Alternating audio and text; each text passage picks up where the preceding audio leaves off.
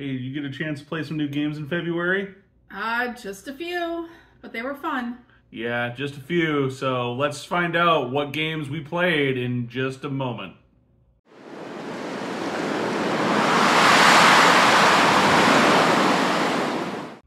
Welcome to Wisco Dice. Hey, yo, folks, I'm your host, the Cozy with the Most, and I am joined today by. Hey, I'm Suzanne. And gosh, February was a busy month for us. It was. We just did not get in to play as many games as we had hoped, but we did manage to get a few new to us games played.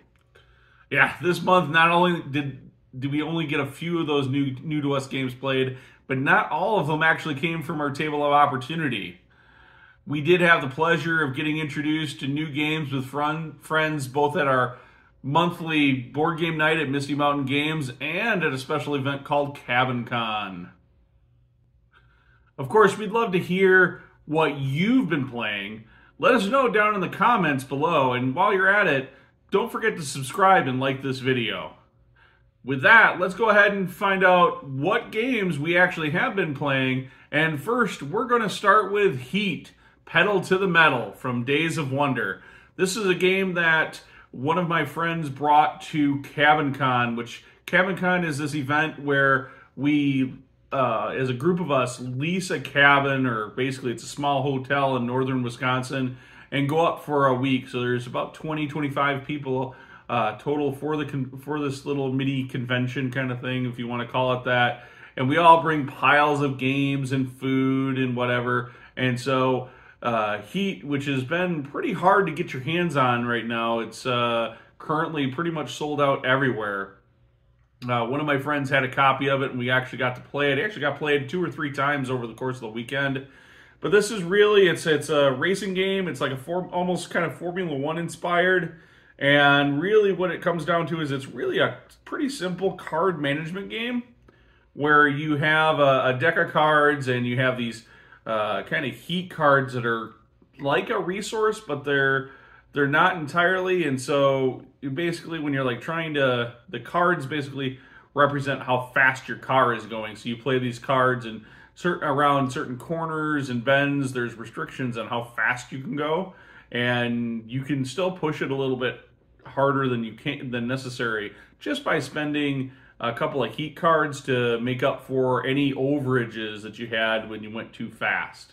Uh, very interesting game. I'm really excited to play it again. Unfortunately, I think it's going to be a month or two before we can actually maybe get a copy of it for our own collection, but uh, it was really exciting, a lot of fun, and I'm really looking forward to giving you a chance to get introduced to that one. Yes, I love car racing games, so very much looking forward to trying that one out.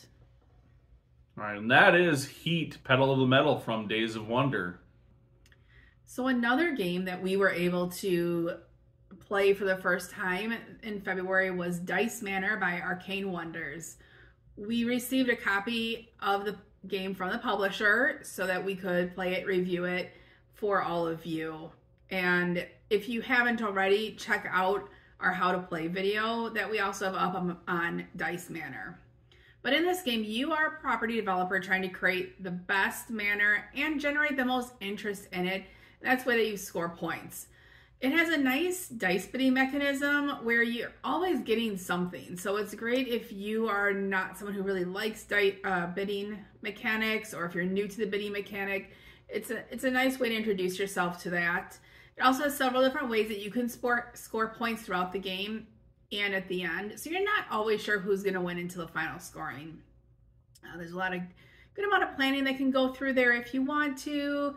Or you can play like me and just kind of make whatever looks like the prettiest manor for you. Um, or something really crazy where you've got like a bedroom next to the dining room. So, you know, you got to walk through it all crazy like that.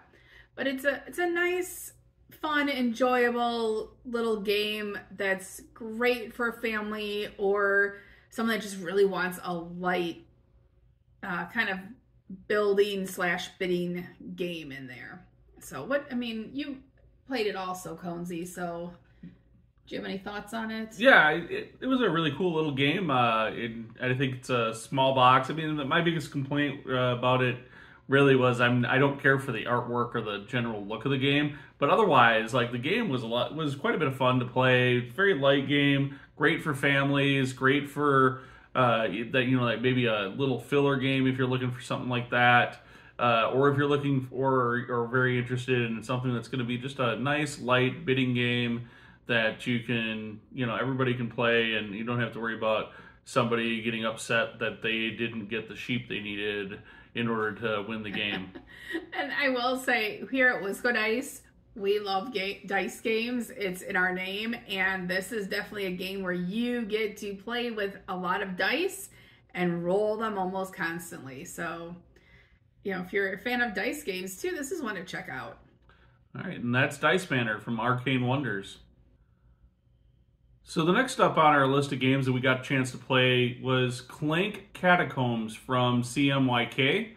So this is the latest iteration of the Clank franchise, and if you're familiar with Clank, then you understand that it's a kind of a push your luck dungeon crawler or starship crawler if you're playing Clank in space.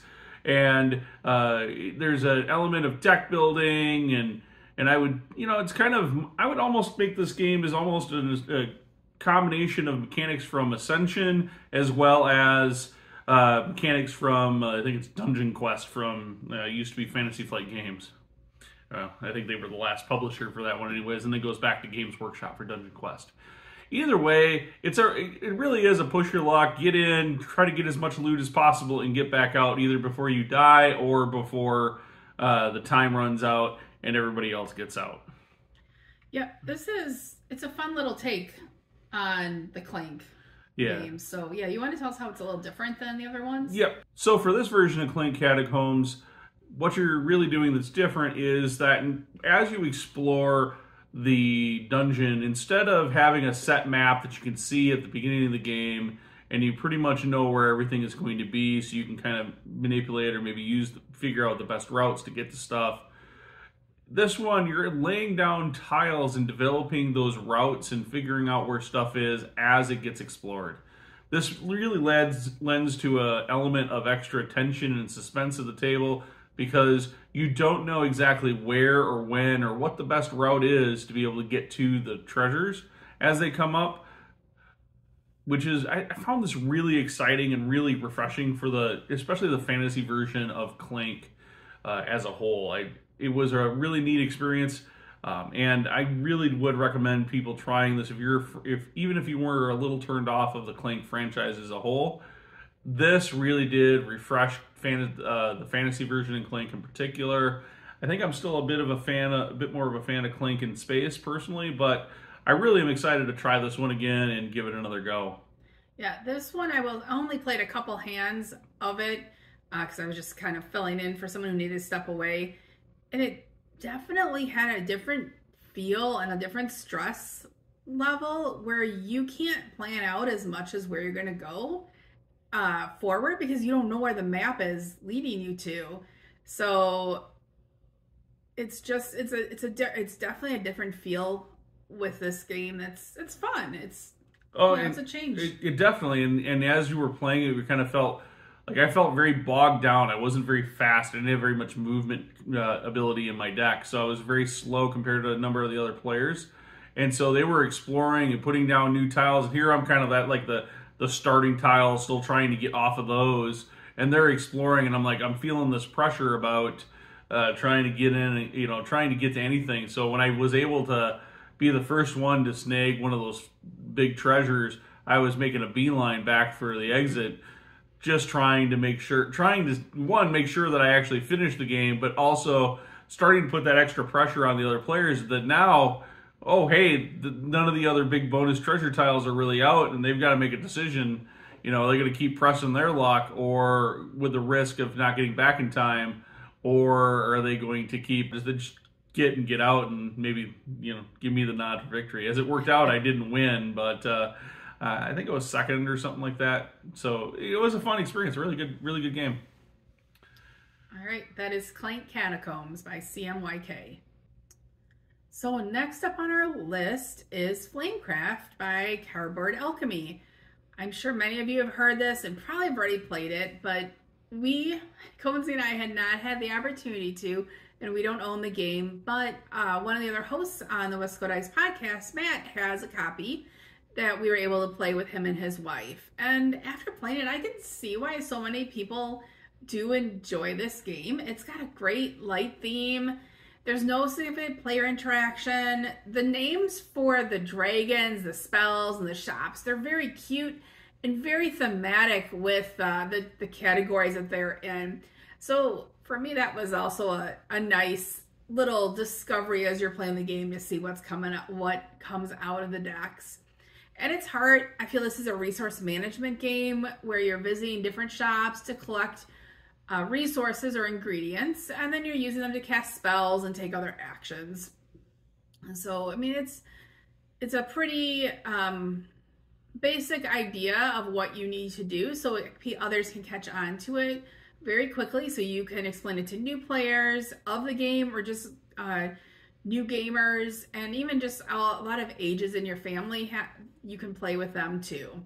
The game ends when one of the two draw piles is depleted and this seems at the beginning like it's going to take a, a while i was like oh my gosh we're going to be here forever playing this game but it as the, the game progresses you start pulling from those piles faster and faster and then all of a sudden one of them's empty before you're ready for it and then the game's over so with flamecraft i mean like i said it's it's a cute light game, great for families all ages. I don't know, Cones, you played it with us. What did you think of it? So this is exactly it. It is a pat you on the back, and you're very much. I don't. I don't think there was an action you could take or anything that you were going to do in the game that didn't feel like you were getting rewarded somehow or some way. So that really does lend this game towards being a very friendly, a very good one. If you have a bunch of uh, competitive kids that that get upset or whatnot because one of them got something and the other didn't. This is definitely a game where that doesn't happen, so it's great for families. I I enjoyed the play. Um, I think you could have slopped almost any theme on this game and it would have worked. The the dragon, the cute dragon theme, and the puns cute. on the on the taverns and whatever. I, it was almost a little too much for me. Oh. Um, you know, I, I think of. It my dragons are big, nasty creatures like Smaug uh, not uh, these cute little fudly kitty dragons, in, in my opinion. but but the game itself, it, it, did shine. It did come through that. It did have everything that it was doing definitely shine. So if you're really into that kind of cutesy, artsy kind of thing with some puns, that I think those were good enough, for, good for the adults. And then you know, like I said, I think it was a really good game to play with kids or younger you know younger people with as well. And, and I, I can kind of see how even people who are you know maybe transitioning away from maybe looking uh what's the bird game? I can't think of it right wingspan. now wingspan yeah. If you're transitioning or looking for another game to add to your collection like a, a wings you know from coming off of wingspan or something like that where you like a game that is lower on the player interaction and higher on just i take do things and i get rewarded for it this is really a game that that meets that kind of niche and and i I will note that we did play the blinged out Kickstarter version of it. So we had the metal coins, we had a couple other little fancy things, and some promo cards and whatnot in it. it I, you know, overall, it was a really cool little game, and and like I said, I'm interested to play it again at some point in the future. You should definitely check it out. So that's Flamecraft by Cardboard Alchemy.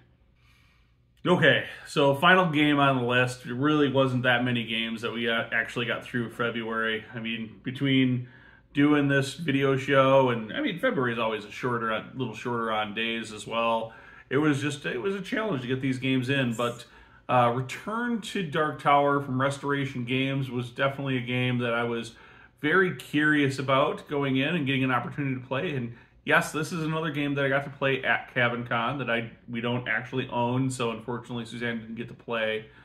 And I yes, think this is. I should add, Cabin Con is basically a guys' gaming weekend if you're wondering why I wasn't there, which is fine. It's better than, you know, a guy's, some other type of guys' weekends you could have. I suppose. I, we'll see if that may change in the future. I have no idea. But the the short of it was is that, yes, it was only me and Suzanne didn't get to go. Uh, but it was, you know, for me, when I sat down to Return to Dark Tower, this was a game, I think I, I think I premised it before we played. Is this, if I'm going to be called a reviewer or if I'm going to, you know, be on, you know, be a podcast host or, you know, on on a YouTube channel, and this is a game that I don't ever play, I'm not sure I can look at you straight faced as an audience and say, hey, I've, you know, I'm a board game reviewer. So it was definitely one of those games that I, I know there's been a lot of hype about. I know it's a lot of people have talked about it, but I looked at it as kind of this was going to be a gimmick game. The tower mechanic was just going to be a gimmick, and and I didn't think that was it, it was probably going to be a, that good of a game. And what I found out after playing it was that it was quite the opposite. Very pleasant surprise. So this game is an app-based, basically fantasy adventure game where you're traveling as a one of one of four characters around this uh, giant circular board with the Dark Tower in the center, completing a, a fantasy quest to basically overcome some big bad guy. And overall, there are better fantasy questing games from a mechanics perspective than I think this one is. But what really made this experience shine was the interactive app and the interactions with the Dark Tower itself. Because all of a sudden, there was this huge sense of the unknown and, and tension that was at the table every time you drop the skull. You know, you finish your turn, you would drop a skull in the tower to signify that the tower would come to life and make some noises, and maybe it spits out skulls and at one player or another player at the table. Maybe it decides to spin. Maybe it decides to do something. And the whole time we're unveiling, you know, more challenging monsters. We're unveiling you know, more and more about the inevitable threat that we have to overcome. So this whole experience, like I said, if it, if it was just focused strictly on the gameplay and you didn't have this level of suspense going on, I think the game wouldn't be nearly as good. But because it adds in this real big element of unknown, it really ends up ultimately being a really cool experience and really enjoyable. And it really did showcase like in how we ended our gameplay because at the end, uh, I'm fighting the big bad at the end of this at, the end of our play, and we all have the choice. Like I, I really wanted to push it at that point, but everybody else at the table is like, back off, back off. If you die, we lose. So I backed off, and then the app and the tower decide to go nuts, and it kills off another player before we get another turn. So that was it, you kind of ended at a, a sour note there because it, it, felt like it was out of control. But we had this tension of like, uh, uh, don't don't don't push it too hard because you don't know what's what that monster's going to do to fight you. But then it turned around that since the the big bad ran away and did X to one of the other players, we lost anyways.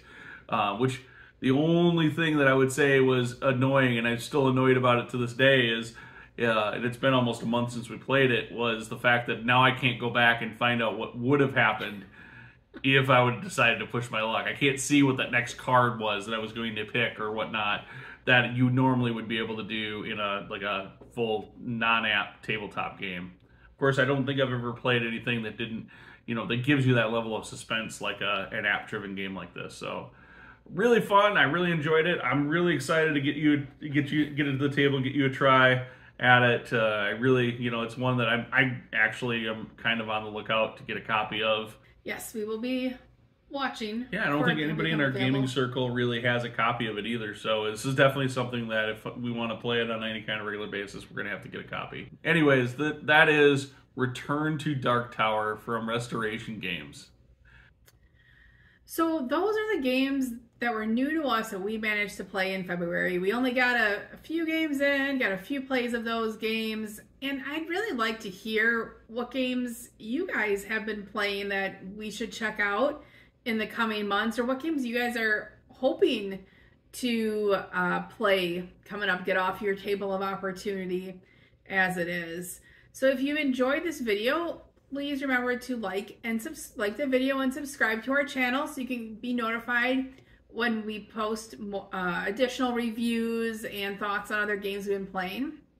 For the month of March, I really am motivated to get things off of this table of opportunity that we have. We, by the time we've recorded this, we've already actually managed to get a couple of these off our list. Yes, so a couple of them. So games that I am hoping to get off our table of opportunity would be Her Story, Trekking Through History, Casting Shadows, Frostpunk, Terracotta Army, and the Hadal Project.